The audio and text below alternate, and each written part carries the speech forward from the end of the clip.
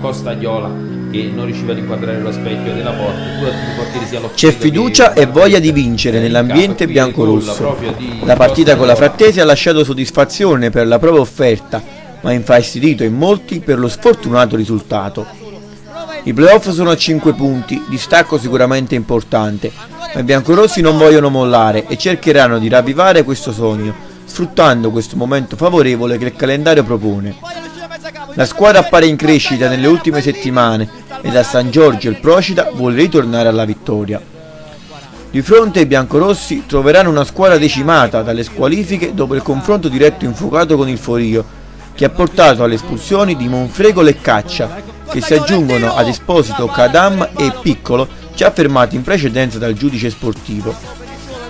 Mancherà per infortunio anche il difensore tessitore, per cui mister Matrullo dovrà far fronte ad una vera e propria emergenza.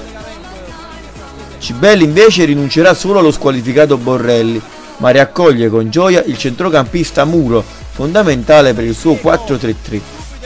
Tuttavia il classe 94 andrà massimo in panchina, con il tecnico biancorosso che dovrebbe confermare quasi l'intero 11 sceso in campo contro la Frattese. Spazio quindi ancora a Petricciolo in avanti, con i fratelli Costogliola alle spalle.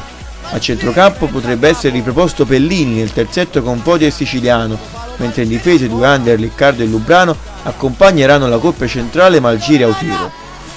Domani al Paudice il Procida vuole quindi riprendere il proprio inseguimento e Cibelli chiede suoi una grandissima prova.